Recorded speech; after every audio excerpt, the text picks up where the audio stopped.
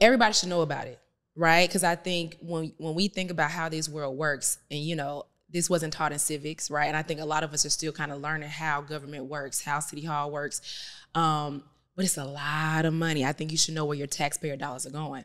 And so even if you're not ready to get in government contracting right now, just to know that the opportunity exists for your kids, or there may be somebody else that may be into trade, start their own construction company. It's one thing to to clean up or have a janitorial service. It may be one thing to clean up homes. It's another thing to get a contract to clean up all the Atlanta public schools. That's the difference, right? So when we think about DEI, a lot of times we focus on workforce, but I'm focused on contracting. So when you think about hiring a black person, you're changing their family. And that's great. But when you give a contract to a black owned business, you're impacting that business, all of the people on salary, and that community. So there's a lot more value or a lot more impact rather in contracting versus just workforce. And so I just want us to understand that we need to be in contracting and putting the pressure on contracting just as much as we're pressuring. We need to hire more black people in this position.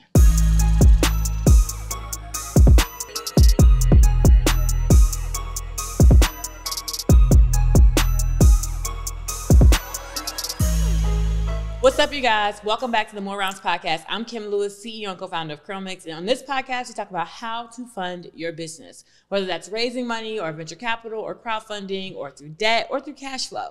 And today, you guys, I have one of the OGs in the travel space here with me, even though she doesn't do travel anymore and she does business with the government. Okay, but do y'all remember Can't Stay Put or Lo Miller? Right? Um, I have been watching her for almost like a decade now. Um, run businesses, travel the world, go to Iceland, inspired me and my first trip to Iceland. Uh, we met a decade ago and I did like a blog for her back on my niche social network for natural hair. Like literally, like that's how long I've been following Lauren. So I'm so excited to have her on the podcast. But before we get started, we have to do a cheers. My bad. My bad. Yes, girl. Here we go. Cheers. That's good. Okay, so Lauren, tell the people about you, Miller3 consulting, and just like a, a brief like connection from Can't Stay Put to where you are now. Right, Right. Okay. So today I currently run my father's business, Miller3 Consulting, with my brother. It's a second generation management consulting firm. We work primarily with the local, state, and federal government on procurement consulting and increasing supplier diversity. And so another way to kind of say that is we work to eliminate the barriers that exist for us to do business with the government. So all of our work is around wealth creation and creating more opportunities for black and women owned businesses to do business with the government.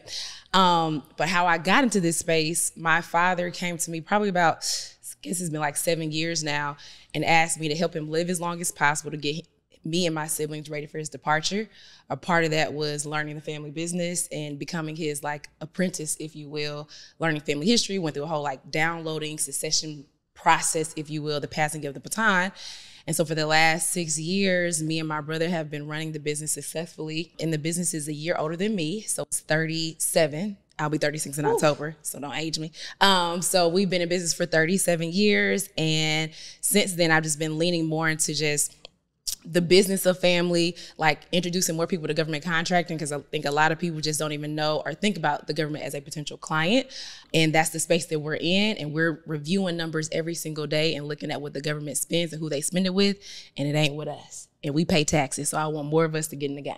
Girl, I was just on a previous episode uh, with Hope from Mary Maine. I was telling her I feel like Black folks' reparations should be tax-free businesses for the first ten Hello? years. Like, Hello? we should not be paying the same taxes we built the country. Like, exactly, exactly. And then the thing is, even when we say we built this country, we built the most richest country, and I think we need to add that to the descriptor too. Not just any country, the number one capitalist country in the world, and we should be able to participate in every commercial system that exists in this country. Well, come on, speak Okay. on it. Okay, if I could, if this wasn't audio, I'd be snapping, girl. Okay, um, tell the people, be more. So, if for example, you said that you help more business, black-owned businesses do business with the government. Mm-hmm. What does that look like? Okay, so for us, our clients are cities, states, school districts, any government municipality, if you will. And so, what governments do, or they're mandated to do, is something called a disparity study. And what that is, and is an assessment to see what the minority participation is in their government contracting. Because because we pay taxes, it should be a fair, equitable uh, procurement system, right? Okay. Because it's there's a governmental interest to be fair because we all pay taxes. Unlike the private sector, if they don't want to do business with black people, they ain't got to do business with black people. Mm. But in the mm. public sector, because we all pay taxes, it should be fair. Right. But oftentimes it's not fair, right? We're we know the world in which we live in, and so what happens is the government has to do something called a disparity study, and what that is, we come in and we look at what they're spending and with who and at what level, right? Mm. And so what's the delta between who exists in the marketplace and who you're actually spending with. So, for example, we look at how much, say, for the city of Atlanta, how much does the city of Atlanta spend on construction in five years? They may spend, I don't know, $500 million. Of that $500 million, how much of that is going to black owned businesses, women owned businesses? And is there any discrimination in that process to remedy anything, any ailments that are taking place? So for us, think of us as like, I don't want to call us an auditor, but we're here to make sure that governments are being fair and making sure there are no discriminatory practices. Because for us, it's like, like you said, we built this shit, right? And we pay taxes on every damn thing, right? And so, who is building your who are building your schools? Who's paving the roads? When you look at those signs, oftentimes they're not black-owned businesses, right? But the government spends billions of dollars every single year during a recession, during the the good times, the depression, during all times. And so, for me, it's like having a B2G model is paramount because mm. it's going it ain't gonna slow up. B to G. We got B to B, we got B to C, B to G. Yeah. So you audit the government. Yeah, in a sense, yeah. In a sense, we audit the government. We, so you audit you audit discrimination. Yeah, exactly. And so our history, if you will, like before my father started this company, he actually did that for the city of Atlanta. So my father worked for the first black mayor of Atlanta, Mayor Jackson. My father was the youngest and first black director of procurement. So growing up, he talked about how many millionaires he created in the city of Atlanta through government contracting. Mm. So when we think about Atlanta, like the mecca and black entrepreneurship, it's very much entertainment today. But 20, 30 years ago, it was very much black owned business. And a lot of that came from Maynard Jackson's administration. Um, so is a little Atlanta history for you. So when uh, when my father was at the city, he created the first minority business program in the country, which was later adopted by USDOT. Um, USDOT. Yes, that's United the, States Department, Department of, of, Transportation. Okay, yes. okay. And so when my father was at the city of Atlanta, the participation at the airport represented ninety five percent of participation in all government contracting. Wait a minute, I don't understand. What does that mean? So that means that the the vendors that were in the airport. So my father put the first black florists in the airport, the first black Popeyes in the airport. All of those black vendors that are in the airport. Yeah. That participation represented 95% of the total US minority participation in contracting. What? Meaning that Atlanta served as the hub for black owned business in, in contracting. Wow. And so Atlanta's kind of known as power. like the mecca, right? When you think about black business, because we had the mayor that was like, I don't care, Delta's not gonna come here unless y'all doing business with people that look like me. Mm. Hence why we have the biggest and the most, you know, busiest airport in the world, right? So we busiest and blackest, right? Okay. Um, I remember my first time coming to Atlanta. I was like, "Am I in Wakanda?" I was listen, like, "Everybody is black. Like, yeah, the, the pilot is black. Everybody the, is black. black, and that's not by mistake. That's by design. You know what I mean? There's a lot of effort and a lot of people here, black business owners and leaders that put a lot of intention behind that. You know what I mean? And it's not something that happens overnight. People have been migrating to Atlanta for the last 40, 50 years. This is not a last 10 year, last five year type of thing. Watching on YouTube, unfortunately, is not enough. If you've learned anything from my podcast, please, please, please leave me a review on Spotify or Apple Podcasts. I would be so appreciative and you would help further the progress of this podcast. Now back to the episode. So I wouldn't even think to be like, I'm gonna audit you and you're gonna pay me to audit you, mm-hmm. right? So like, how did your dad even know that that was a thing that was available? And let me just, I wanted to mention it before I get to that part.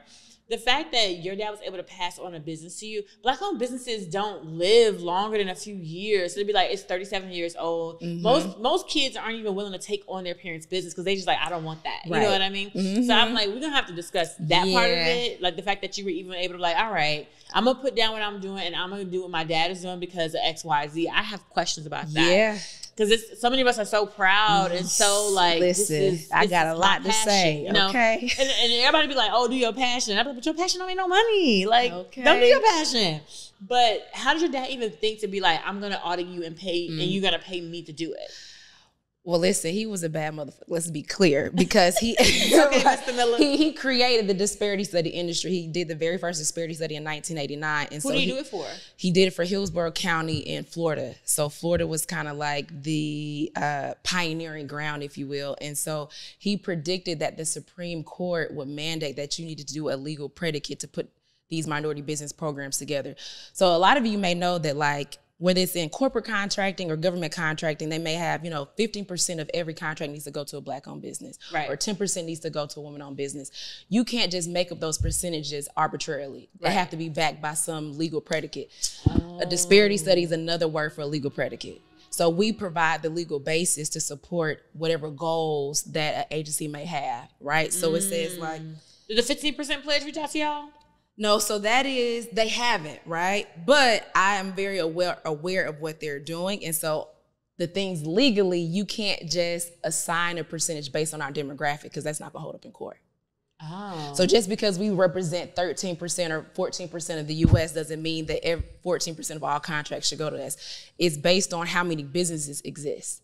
So just because Atlanta may be 50% black, are do we have 50% plumbers that are represented in the city of Atlanta? They may not exist. So we can't just say 50% of all plumbing contracts need to go to black people black people if black plumbers don't exist. It's not so it's like so part of this is more of us need to get into business to to be able to support whatever goals that are out here doing this work. And so I know it may sound very confusing. However, that's also by design too.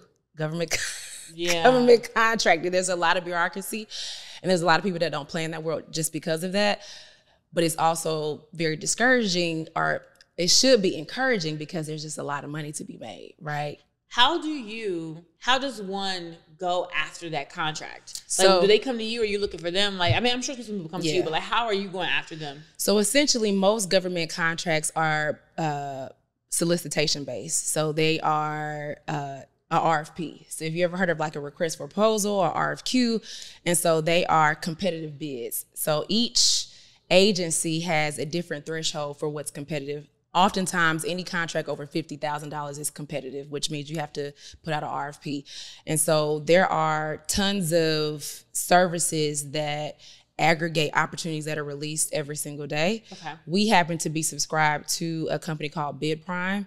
And so we pay for this service and every single day I get opportunities sent to my email every single day. And so what you do on your profile is uh, identify what your NAICS codes are, another word for like what your company capabilities are.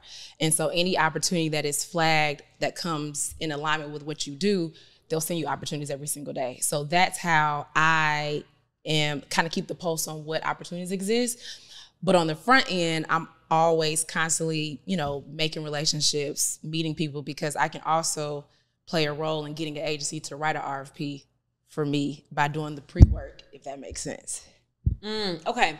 So, and and are these RFPs or RFQs? Are they like thirty page documents, or like what does that look like? So you see opportunity comes through. Mm-hmm. You're like, oh, I can't think that we can fulfill this. We can do this disparity Mm-hmm. study. I'm gonna find the agency to fulfill it. Is that what you're doing? So here's an example. Submit an application that says like, yeah, what does that look like? Yeah, so I'll just walk you through, say, like, uh, opportunity that we just pursued with, uh, let's see, like Durham County in North Carolina.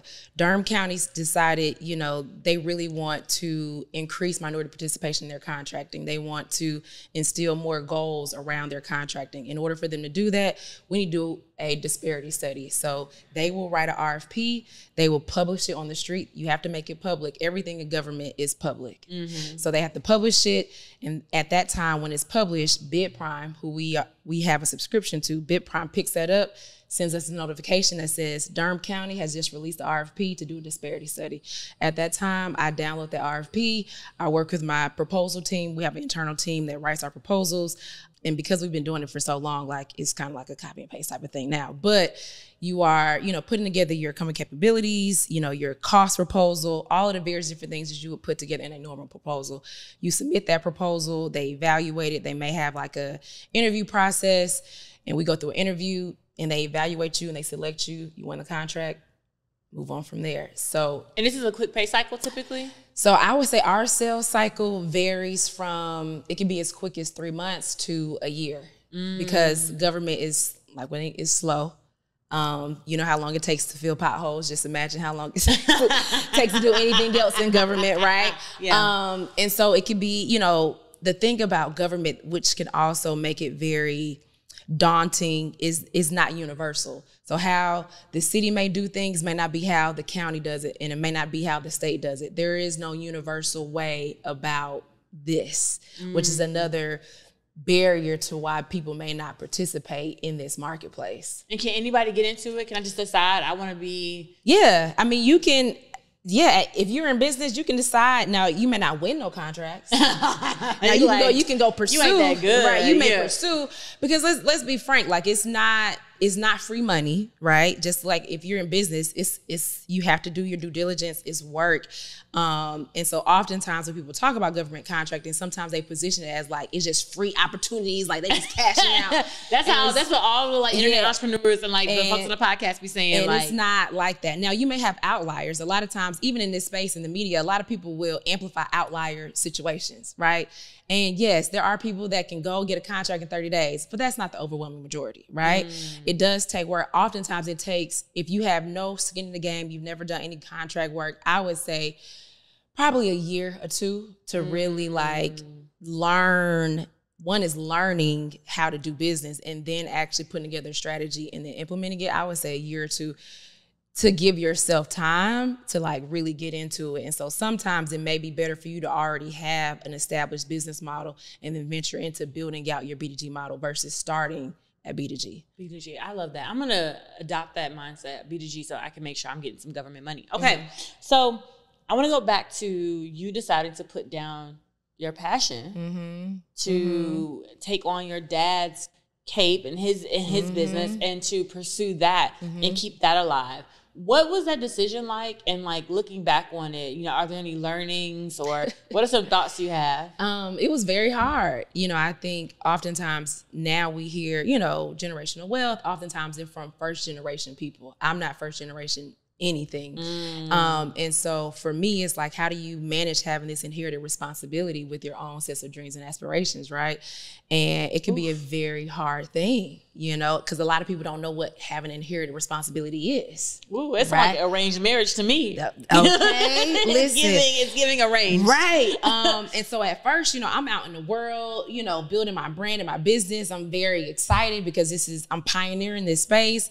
And at first I was just like, God, why is this happening right now? You know, like my dad is, you know, he was dying um and needed my help. And I like it was hard. I was just like, I, ain't, I don't want to do this. You raised me to be an entrepreneur. I'm out here doing it, and now you're telling me to stop.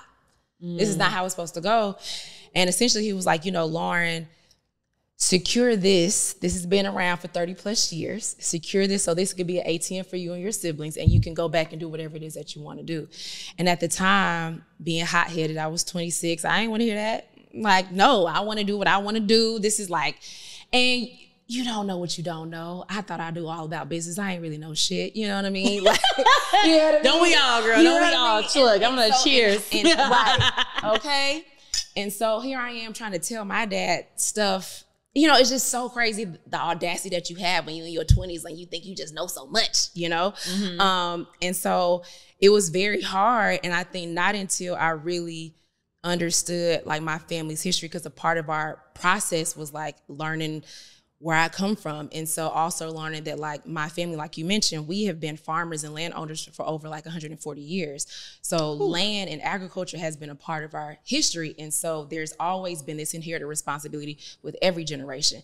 And so although my father decided not to be a farmer, he actually used his business to so USDA retained my father's company to do a study to see if there's discrimination in the farm agency granting uh, money to black farmers. That work led to a $4 billion settlement, which our farm was a recipient of. So, although my dad was not a farmer, his work still had a certain component of inherited responsibility to push our family's agenda forward, right? Yeah. So, going through this process with my father started to help me understand that, like, okay, Lauren, you have to put this travel stuff on hold. But if travel global citizenship is your thing, how can you use that to amplify your family's mission and amplify it forward?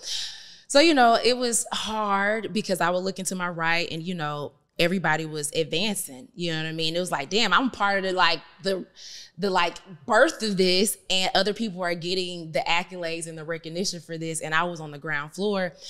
But I kind of had to like what what were people getting? What did you? you know, people just I think just recognition or just like just the natural growth of the industry, right? Because when I started, travel influencer was not a term. Influencer was not a term. What we were doing was not a career. Like when I was telling people I was traveling for a living with a photographer, people were like, "What the fuck is that?" right. You know what I mean? Or and like, they think that you thought you was all into yourself. right, exactly. Like, why People- do you have a right, photographer all the time right, with you? Exactly. So like And even before reels and stories right and all before reels, before stories, before all of these things. And so at that time, photographers would turn me down.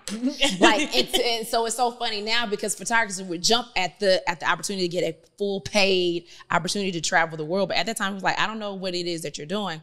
So to have to take a step back from that and then for that space to start to be more accepted and it start to get bigger and more and more people are introduced to it, it was very hard because you're just like, what the fuck? Like I had something to do with that, and I'm not in the game no more. You know what I mean? Right. But you know, I also realized that like you only get one dad. You know what I mean? Like, and for me, my father was my custodial parent. So like when my parents got divorced, my mom worked for the Bill Clinton administration. So when she she moved from Atlanta to DC, my parents started to ping pong me back and forth between Atlanta and DC. So I started flying by myself at five years old, which is it's not a coincidence uh, that I started Can't Stay Put as an adult because I literally have been traveling since I was a child. yeah. But my father was my custodial parent. So me and my father, like, when you think about the father, daughter, daddy girl, like we on steroids time 10. So when my father got sick, it was like, ugh, this fucking sucks. But it's like, this is my, you know what I mean? Like this is this is my person. And so it was very hard at the beginning, but after a while, it's like, no, this is what everybody's out here trying to build. Right. You know what I mean? Like, I've only worked for myself for family. That's a privilege. I've never had to code switch shit. You know what I mean? Like, the level of freedom that I walk in is because of the foundation that the people before me have laid. And so it was like, all right, Lauren, like, yeah, it's very bittersweet to like see your peers continue to grow and elevate in this space that you had a, a place in like starting. But this is this is legacy. This is some legacy shit, right? This not going Yeah. nowhere, right? Um, and so in hindsight, like now I am tapped to speak about succession planning. I get paid to like advise on the business of family. How do you go about doing this process? Like, how do you record your family history? Like, what is this like? Um, and so it's a blessing. And I'm so happy that I took up the mantle because now I have entrepreneur pursuits, but it's like now I didn't set this ATM up and it's gonna be making my bills are paid. Cash flow. Exactly. Okay. and it's just Cash like. I am so happy that I listened because this is a 30 year business that's tried and true. You know what I mean? At the time, I think I was only in business maybe like two and a half, three years. So I was still a spring chicken. You know what I mean? Thinking that I had done a lot.